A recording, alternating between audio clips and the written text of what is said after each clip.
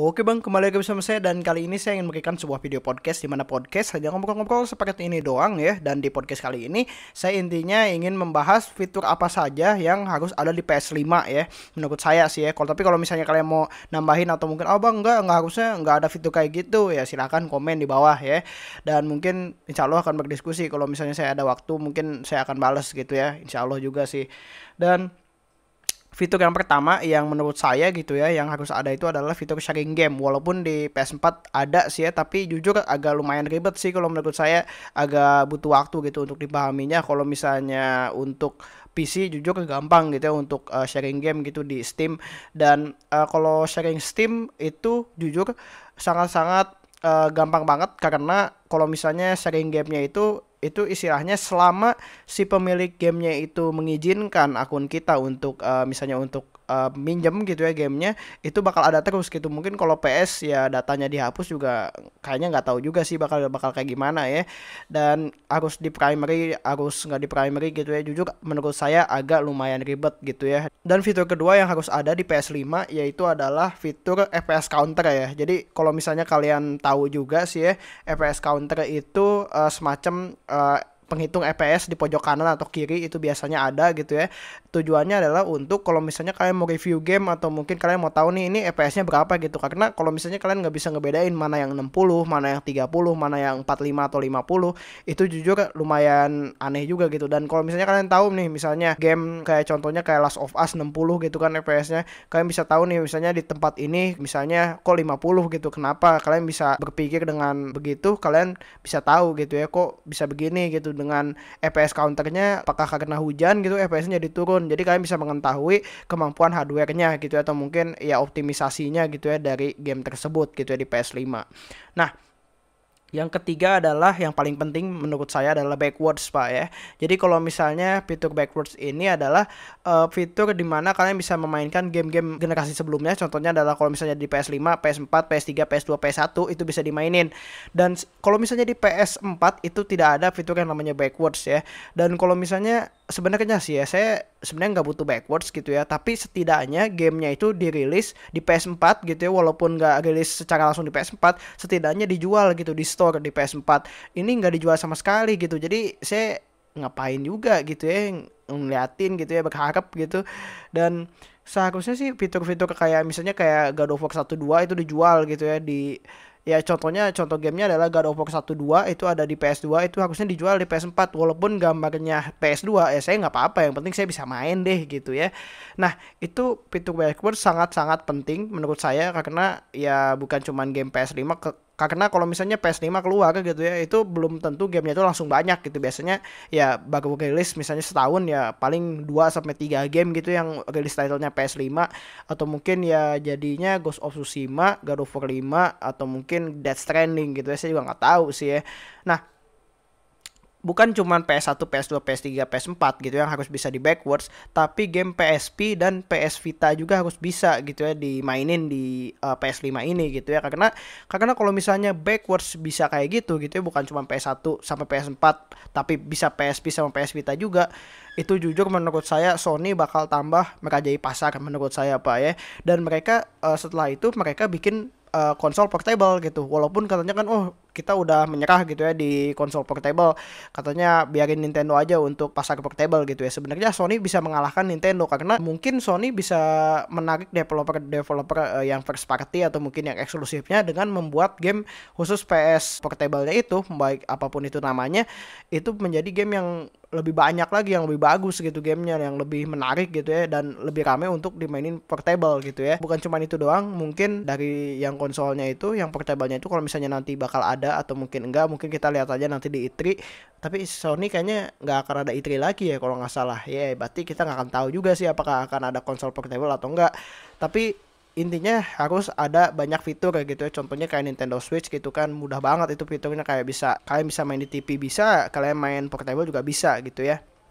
Nah, uh, fitur yang keempat gitu ya adalah fan yang bisa berputar balik gitu ya. Kalau misalnya kalian tahu kayak contohnya di laptop Predator atau mungkin laptop Acer gitu ya, laptop uh, Vinetro yang saya ini, itu kipasnya itu bisa berputar uh, berbalik arah itu sebenarnya ini sih bisa dibilang billion dollar idea ya. Atau mungkin ya nggak billion amat sih mungkin million ya million dollar idea jadi bisa berputar arah gitu ya. Fungsinya adalah biar kipasnya ini tidak berdebu. Kalau misalnya kalian tahu juga sih di Predator gitu. Jadi misalnya uh, fan-nya itu muter ke kanan ya kan. Misalnya setiap tiga jam sekali itu fan-nya itu berputar arah berbalik gitu ya. Tujuannya biar biar nggak ada debu gitu di apa di fan dari laptop atau mungkin ya kalau misalnya nanti ada PS gitu ya. Nah, tapi itu cuman uh, saran saya aja sih dan saya cuma berharap doang fan-nya bisa muter gitu ya, bisa muter uh, balik gitu biar bisa fan-nya itu bersih dan apa tidak tidak apa tidak ada debu karena kalau misalnya ada debu gitu ya lumayan tebal itu nanti si fan itu tambah berat gitu ya. Uh, sebenarnya sih ya kalau misalnya kalian tahu juga sih itu kurang optimum menurut saya untuk di laptop itu yang uh, Predator dan Vinitro itu tetap aja pas waktu itu saya bersihin gitu ya ada masih ada debunya gitu. Jadi debunya nggak benar-benar hilang tapi Sony bi mungkin ya Sony bisa uh, bikin teknologi yang uh, fannya muter dan nggak ada debu sama sekali gitu. Karena kalau nggak ada debu sama sekali ya lancar terus gitu ya. Dan uh, fitur yang kelima yang saya harapin gitu ya. Dan sebenarnya udah ada juga sih di PS4 Pro. Itu adalah menggunakan tombol ya. Karena kalau misalnya di PS4 yang fat gitu ya karena itu kan touch gitu kan. Kalau misalnya kalian simpan di bawah meja gitu ya dan kalian misalnya lagi kerja gitu ya misalnya atau mungkin lagi ngetik gitu tiba-tiba kaki, kalian misalnya ngayun nih gitu tiba-tiba eh, ngayunnya ke deket tombolnya tiba-tiba nyala gitu PS4-nya kan itu jujur mengganggu gitu menurut saya. Jadi ya, ya menurut saya lebih baik fitur tombol gitu daripada fitur touch gitu ya. Dan karena kalau fitur touch itu juga saya takutnya rawannya uh, cepat rusak juga. Contohnya kayak misalnya kayak di PS4 Fat ya, walaupun bisa juga sih diakalin dengan uh, lakban atau mungkin solatif atau mungkin Hansa Plus gitu, saya juga nggak tahu ya. Dan uh, fitur yang ke terakhir gitu yang saya harapkan adalah cooling system yang bagus ya karena melihat dari PS3 gitu ya PS3 itu mudah sekali yellow gitu PS3 yang fat gitu. Cuman saya juga nggak tahu sih apakah yang ori apakah akan cepat yellow atau enggak. Karena kalau misalnya yang refurbish atau yang mungkin yang banyak dijual di pasaran gitu itu katanya cepet yellow gitu ya. Tapi uh, saya juga nggak tahu sih itu cooling sistemnya atau gimana gitu ya. Semoga aja kalau misalnya PS5 keluar uh, cooling sistemnya bagus gitu ya walaupun generasi pertama atau mungkin generasi fat gitu. Saya harapnya aja fitur-fiturnya banyak dan uh, mungkin fitur yang agak lumayan menurut saya sih sebenarnya nggak terlalu penting amat yaitu adalah resolusi ya resolusi yang di upscale atau mungkin downscale saya juga nggak terlalu penting juga sih ya dan kalau misalnya saya sih sebenarnya nggak terlalu penting sama resolusi dan saya juga berharap sih kalau nanti PS5 keluar gitu saya harapnya nanti ada semacam uh, misalnya kayak emulator gitu ya kalau di PC contohnya atau mungkin di HP jadi kalau misalnya game misalnya game PS4 nih gitu ya game PS4 dimasukin ke PS5 itu gambarnya bisa lebih tinggi gitu. Jadi kayak semacam emulatornya tuh dengan resolusi yang lebih tinggi dengan tekstur yang lebih banyak gitu. Tapi saya juga nggak tahu sih ya. Kalau misalnya dengan penambahan tekstur ya kayaknya sih bakal ada update gitu ya di game-gamenya. Tapi saya juga nggak tahu sih ya kayak game-game offline gitu kayak Last of Us, God of War gitu apakah akan ada update gitu untuk PS4 atau mungkin uh, eh, PS5-nya gitu ya. Karena uh, kalau misalnya nih contohnya uh, ya intinya sih kayak emulator PS1, PS2, PS3 gitu. Jadi kalau misalnya dimainin dengan hardware yang lebih kuat, nanti resolusinya bakal jadi lebih bagus gitu. Jadi contohnya kayak kan kalau PS1 kotak-kotak tuh, kalau misalnya kalian mainin misalnya di PC dengan settingan yang tinggi gitu kan jadi bagus gitu gambarnya. Dan semoga nanti kalau misalnya backwards contohnya bisanya kayak gitu gitu ya lumayan juga sih ya menurut saya tanpa ribet-ribet gitu kan karena kalau misalnya di emulator PC ya itu kan harus setting-setting lagi. Dan kalau mungkin kalau misalnya kayak gitu bener di PS5 gitu misalnya main God of War PS2 nih gitu main God of War PS2 resolusinya tuh disuntik tekstur 4K misalnya itu jujur menurut saya bakal bagus banget gitu. Kalau gitu saya sangat setuju deh kalau gitu.